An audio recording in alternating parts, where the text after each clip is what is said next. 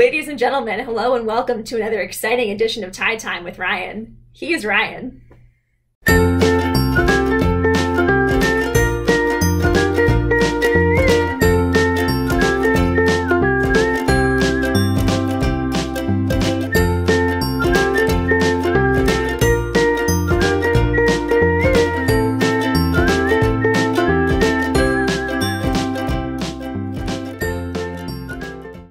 Ladies and gentlemen, hello and welcome back to season two of Tie Time with Ryan. I'm Ryan. Tie Nation, I gotta tell you, I'm super excited to get started with season two, but before we do that, the first order of business is to upgrade the studio. Much better. So, Tie Nation, as you'll note, I'm not in the traditional Tie Time garb as of yet. One of the biggest requests that I got throughout season one was, Hey Ryan, we really enjoy your videos. They're awesome, but could you teach us how to do those knots? Could you do an instructional video on how to tie those ties? So I can think of no better way to start off season two than with an instructional video on how to tie a tie. Step one, you're gonna wanna get yourself a fancy shirt. Nope, that's not right. Huh, must be a little rusty. Gotta shake out the old cobwebs. All right, here we go. Nope. No. Nope. Nope. Nope. Nope, that's a dingo. Nope. That's worse. Nope. Nope. Nope. Nope. What is happening? Whew. Step two. Find yourself a classy tie.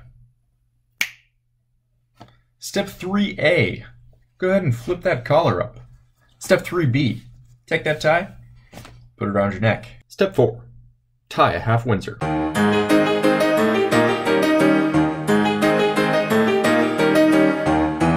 Step 5. Put that collar back down.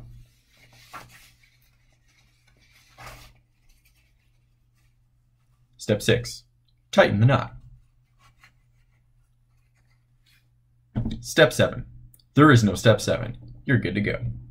And there you have it, Tie Nation, the perfect half Windsor. You're welcome.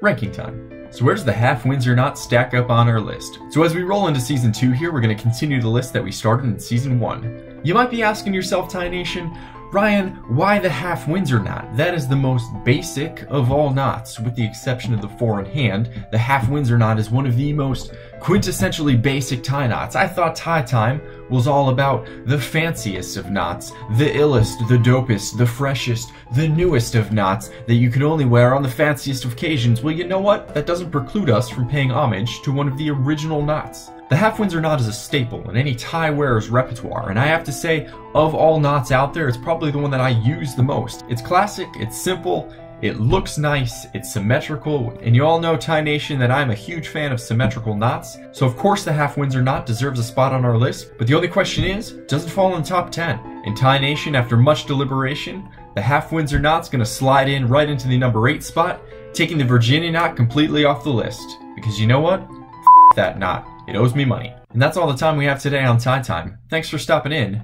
You stay classy. And also a big thank you to the wonderful, beautiful, and talented Katy Jones Powell. Give her a virtual round of applause. Well done with the intro today, Katy. You're amazing. So, Tie Nation, I hope you enjoyed the first episode of season two. If you did, go ahead and give that like button a little taparoo. And if you want to catch all the episodes this season, hit that subscribe button and turn on your notifications. I always appreciate any thoughts and comments you have on the episode. Go ahead and leave all that in the comment section below. Thanks for stopping in. You stay classy. All right, on. Are you staying back there? Yeah. Oh my god.